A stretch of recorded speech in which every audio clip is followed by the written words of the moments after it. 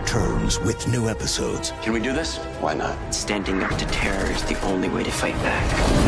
next season on Fox.